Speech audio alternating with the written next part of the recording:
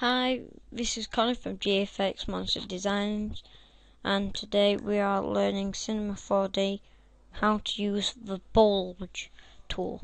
So let's head head over to Cinema 4D.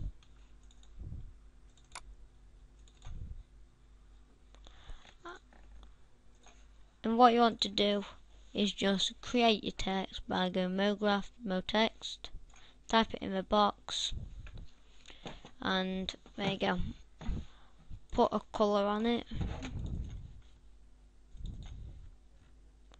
I'm, I'm going for blue today.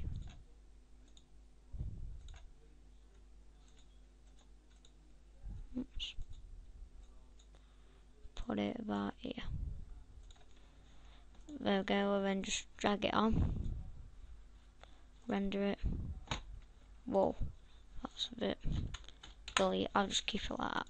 So when you've done that and you've done your render settings,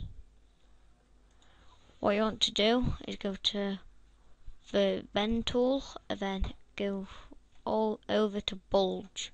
Click on it and then just hover it, make sure it goes down and then test it works.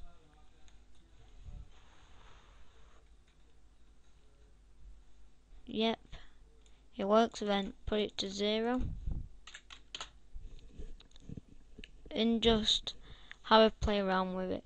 I don't really know what people would do with the bulge tool. Maybe to make a video what goes out like that, then in, then wraps around, and then back out.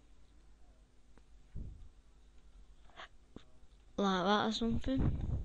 I don't know because I've only just figured out this tool. Um, what else could you do with it? What's this?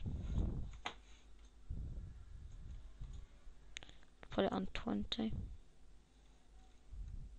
Oh, this is the angle it does it at. So like, how it bends. I'm just gonna, ah, so if you have a look, it, it, it just like leans depending on how you want it.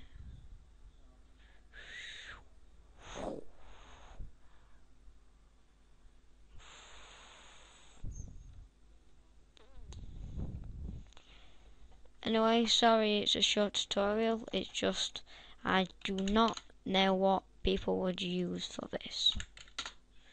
So, thank you for watching, and please watch all my other clips, maybe rate, subscribe, like, comment if you like them, and all that.